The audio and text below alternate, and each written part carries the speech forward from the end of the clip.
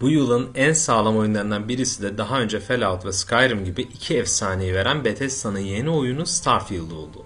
Starfield genel anlamda Skyrim'in sunduğu imkanları bir uzay macerası olarak sunacağını söylemişti ve benim tecrübelerime göre bu söz tam anlamıyla tutulmuş. Öncelikle şunu da söyleyeyim. 6 Eylül günü ben döner dönmez iki oyuna kendimi gömdüm. Bunlardan birisi herkesin aklını başından alan Baldur's Gate 3, diğeri de tabii ki Bethesda gibi gönüllerde tat kuran ekibinin yeni oyunu Starfield oldu. Yani aslında Starfield çok önce çıktı, 20 gün önce kadar çıktı.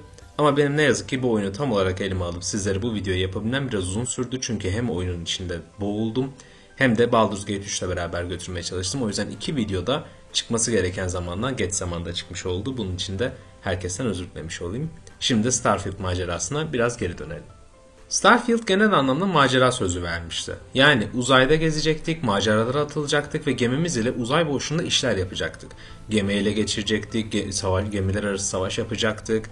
Bunların hepsini yapabilecektik. Yarattığımız karakter, diyaloglar ve özellikler epey önemli olacaktı. Peki bunun ne kadar yapılabilir olduğunu önümüzdeki dakikalarda beraber göreceğiz.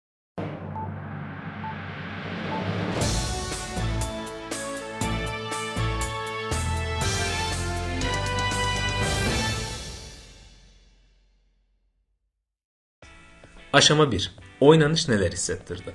İlk aşamada oynanışın bana hissettiklerini konuşmak istedim. Çünkü bana kalırsa Starfield bir teknik harika değil. Yani teknik olarak inanılmaz bir oyun yok karşımıza. Ne aksiyonuyla ne grafikleriyle öyle uçup kaçan bir oyun değil. Yani bu oyun çıkıp da ben aksiyonumla ve grafiklerimle şaheserlere meydan okurum demiyor.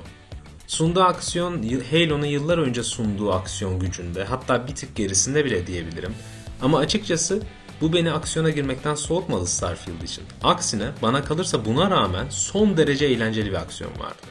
Açıkçası aksiyona girmekten çok oradan oraya gitmek de geçiyordu oyun zaten. Ama buna rağmen aksiyona girdiğim anlar da son derece keyifliydi.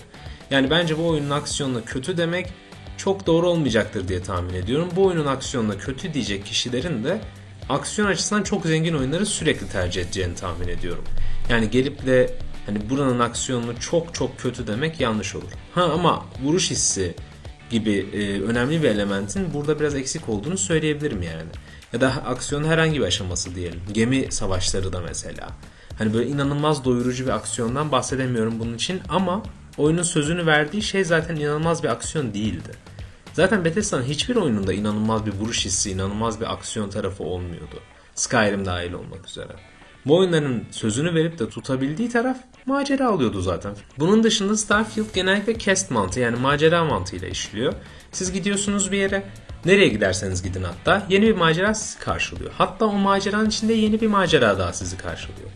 Kaldı ki bu bence inanılmaz bir şey. Çünkü ne olursa olsun girdiğiniz yerden boş çıkmıyorsunuz.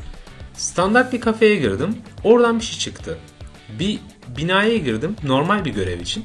Başka bir görevle daha karşılaştım. Bunun gibi hani en boş gezegene bile gitseniz oradan bir şeyle çıkıyorsunuz. Ha tabi burada minik bir eksi de var. Hani biz maceralara inanılmaz diyoruz, her girdiğimiz yerden maceraya çıkıyoruz diyoruz ama her macera harika hikayeler ve yaparken inanılmaz bir heyecan, aksiyon sunmuyor. Mesela tam burada biz bir kafeye giriyoruz. Daha bu böl- oyunun ilk serbest bıraktığı anlardan bir tanesi. Bir kafeye giriyoruz ve garson bize bir ihtiyacını anlatıyor. Garson kız diyor ki işte benim şuna şuna ihtiyacım var. İşte keşke alabilsem. Biz de diyaloglarda diyoruz ki tamam biz hallederiz bunu. Yani ben hallederim diyebiliyoruz ya da demeyebiliyoruz ama bunun sonrasında iki adım ileride bir depoya gidiyorum. Adam diyor ki içeri girme. İki diyalog kuruyorum adamla çok basit bir şekilde. İçeri giriyorum, malzemeyi alıyorum, kadına götürüyorum. Şimdi bu sunduğu macera totalde 2 dakika 3 dakika süren, diyaloglar kısmı daha uzun süren bir kısım. Yani aslında inanılmaz heyecanlı böyle o harika bir macera değil. Bunun gibi küçük profilde, düşük profilde çok fazla macera var. Ha bu örnek için konuşursak bu oyunun daha en başında oluyor ve biraz diyalog mantığıyla tanıştırmak için yapıldığını düşünüyorum. Ama bunun gibi basit ve hızlı biten görev çok var. Kaldı ki ben bunu yargılamıyorum. Çünkü siz her yerden bir görev çıkmasını bekliyorsanız her görevden de bir şaheser beklemek yanlış oluyor. Yine de bunlar yerine rastgele denk geldiğiniz yerde bile iş görüşmesine giriyorsunuz atıyorum ve oradan neler neler çıkabiliyor. Yani nereden ne çıkacağız son derece belirsiz. Bu da bence Bethesda'nın verdiği ana sözü kesinlikle tuttuğunu gösteriyor. O da macera. Bu oyun kesinlikle bir macera oyunu. Ha şu ayrı. Döneminde Skyrim'in vurduğu kadar sert bir darbe vuruyor mu, o kadar büyük yenilikler yapıyor mu sanmıyorum. Ama genel kitlede katılmadığım iki hata var ve ben bunları yapmak istemiyorum. Bunlardan birisi her oyunu birbiriyle kıyaslamak. İşte GTA 6 çıktığında 5 ile kıyaslamak. RDR 1 2 1'i 2 ile kıyaslamak. Ya da işte Starfield'da Skyrim'i birbirleriyle kıyaslamak. Yani illa birisi ikisi de macera oyunu diye Starfield'la Skyrim kıyaslanabilir olmak zorunda değil. Diğer hatada ki bence asıl e, burada Starfield'ı kurtaran şey devreye giriyor. Skyrim o döneme kadar yapılmamış bir iş yaptı. Yani hiçbir oyun o kadar özgür bir macera sunmuyordu. O kadar oyuncuları saracak maceralar sunmuyordu diyeyim. Dolayısıyla gitti hakikaten bir ilki yaptı orada. Sonrasında zaten üzerine 12 yıl geçmişken ve büyük ölçüde Starfield'ın verdiği söz tabii ki teknolojinin de verdiği imkanla bir de tema imkanıyla tekrar bunu yapmaktı. Yani uzay macerası sunmaktı ve gezegenler arası gezme gibi bir şey olduğu için Skyrim'in bir tık daha macera açısından ötesine gitmekti. Bu açıdan Starfield'dan da hani gidip Skyrim kadar görünmemiş bir şey yapmasını beklemek yanlıştı. Yani Starfield'da böyle bir macera oyuna girerken bilmiyorum ya hiç yapılmamış bir şey yapmasını beklemek biraz yanlış olur gibi geliyor bana. Bir diğer soru da Starfield'ın verdiği uzay gemisi heyecanıydı. Çünkü tanıtımlarında şunu gösteriyorlar. Siz geminizi geliştiriyorsunuz, yeni gemi yapıyorsunuz, uzayda sürmek, işte gezegenler arası seyahat, gemiler arası savaş, başka bir gemiye sızma, bir sürü şey yapabiliyordunuz. En basitinden başlayalım mesela. Gezegenler arası seyahatten pek bir şey beklememek gerekiyor onu söyleyeyim. Oyun tamamen bu noktada fast travel mantığıyla işliyor. Siz bir gezegen seçiyorsunuz ve eğer belli aşamaları geçtiyseniz o gezegene gidiyorsunuz. Fast travel mantığı var yani. Ama bu oyuncuları delirtmiş. Çok kızmışlar. Ben bu neden kızıldığını şöyle anlamıyorum. Şimdi GTA olsa araba sürebilecekken neden buraya fast travel yapıyoruzu anlarım.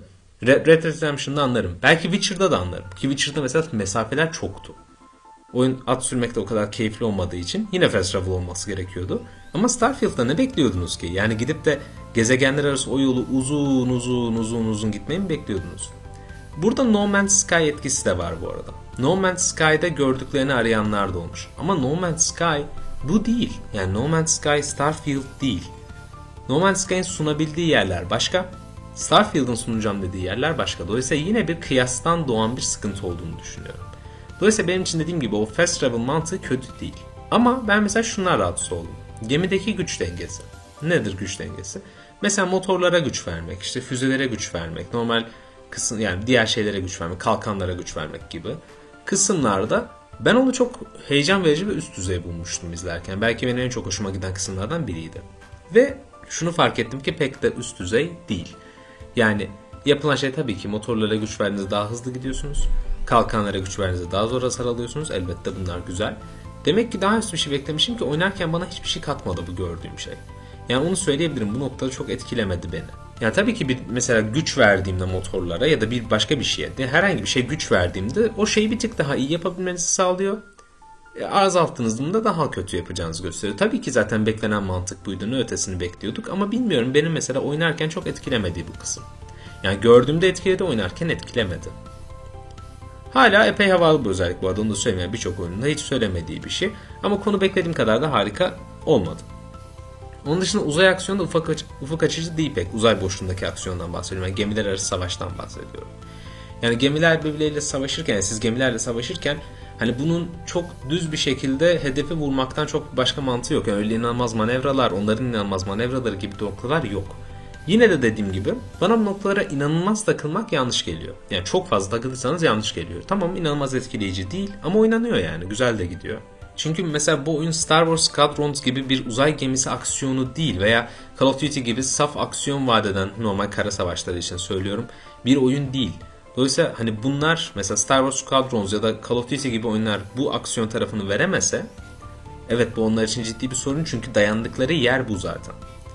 Ama Starfield'ın dayandığı yer burası değil. Macera. Dolayısıyla dediğim gibi bunu kesinlikle yapabildiğini düşünüyorum.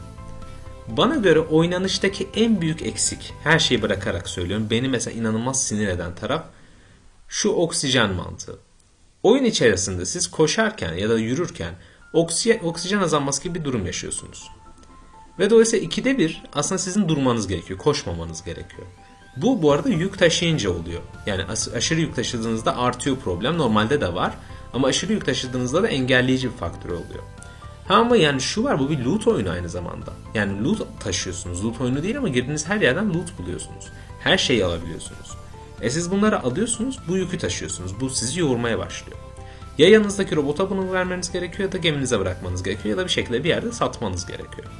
Şimdi bunların hepsi okey. Birçok oyun overcumber problemini, overencumber problemini yani aşırı yük problemini verir. Karakteriniz yavaşlar. Bu Witcher'da da oluyordu, bu Baldur's Gate'de de oluyor, bu Conan Exiles'da da oluyordu, her yerde olur bu. Yine de Starfield'da bu bence oyunu aşırı etkileyen bir problem haline gelmiş. Yani Witcher'da mesela ben bunun beni aşırı etkilediğini hatırlamıyorum. Normal çünkü sadece yavaşlıyorduk. Bunda hız sabit ama çok hızlı yorulma oluyor. Ve bu çok yük taşımasanız bile bence olabilen bir şey haline geliyor ve bu ya bilmiyorum beni mesela oyun oyunda birazcık düşüren bir faktör oldu açıkçası. Yani beni çok rahatsız etti birçok yerde. Bana göre hani en çok rahatsız eden şey buydu. Yine de genel olarak oynanıştan memnun kaldığımı söyleyeyim. Yani macera tarafına geçmeden önce oyunun oynanış kısmını böyle uzun uzun ele almak istedim. Bir hani sonuç verecek olursam dünyanın en konforlu oynanışına sahip değil Starfield onu söyleyeyim. Yani böyle bu kadar modern oyun gördükten sonra, bu kadar modern oynanış gördükten sonra hani Starfield buraları delip taşıyor, inanılmaz bir oynanış veriyor değil. Ama macera tarafı o yüksek olduğu için bu kısımlarda gayet bence eğlenceli hale geliyor. İkinci aşama Starfield neleri başardı, neleri başaramadı. Evet, geldik vaat edilenlere. Oynanışın inanılmaz olmadığını az önce söyledim ama gerçekten hani şunu söyleyeyim kötü değil oynanış. Bu yanlış anlaşılmasın. Sadece hani eğer siz buradan gelip de hani diğer oyunlarda beklediğiniz o gücü beklerseniz oralar burada yok. Ama gelelim Starfield evrenin neler sunduğuna. Bu noktada ilk bakacağım şey de gezegen yapıları oldu. Starfield'ın gerçekten de binine yakın gezegeni var. Yani var. Yani ben tabii ki bunların çoğunu görmedim ama okudum, baktım ve gerçekten bine yakın gezegenden bahsediyoruz. Bunların çoğunu dediğim gibi görmedim ama benim okuduğum, gördüğüm bunların önemli bir bölümünün boş olduğuydu. Kaldı ki bir zahmet. Yani iyi tasarlanmış 10 tane canlı gezegen fazlası ve yeterli. 1000 tane gezegene gerek de yok. Yine de hemen hemen her gezegende minik minik şeyler de buluyorsunuz bu arada. Düşman, minik görevler, materyaller. Yani oyun her gezegeni minik de olsa bir şeyler bulacağımız hale sokmuş. Ki bu bence fazlasıyla güzel bir şey. Benim bildiğim kadarıyla bunu da şu şekilde yapmışlar. Gezegenlerin her birine yani bir önceden şey koymuşlar. Ee, oraya mesela bir görev koymamış da demiş ki bu gezegene geliyor şu anda bu buraya iniyor buna bir şey vermemiz lazım. Oraya güç düşmanlar atıyormuş ya da materyaller atıyormuş. Bazılarına da görevler veriyormuş. Zaten önceden verilmiş görevler. O yüzden de hani oyun aslında canlı kalabiliyor. Her gittiğiniz yerde minik bir şey buluyorsunuz. Oyun bunu veriyor.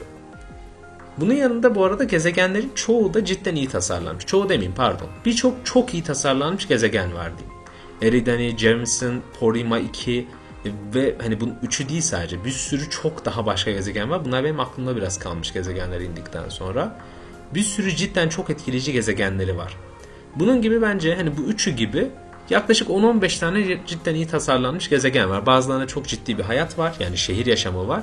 Bazıları biraz daha hani arazi mantığı işliyor. Bunun yanında etkileşime geçmemize izin verilen karakterler de hakkını veriyor bence.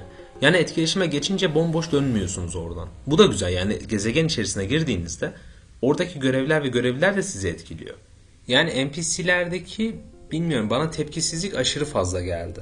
Ha tamam mesela birine sıktığınızda polis devreye giriyor. Bu konuda hani bomboş bakmıyorlar size. Uğraşıyorsunuz o polislerle ama genel olarak onları vurmanız dışında pek bir etkileşimleri yok. Ha mesela şu da var. Mesela görev sırasında yanındaki kişiye sıkıyorsunuz. En ufak bir tepki yok ama sıktırtıyor oyun size.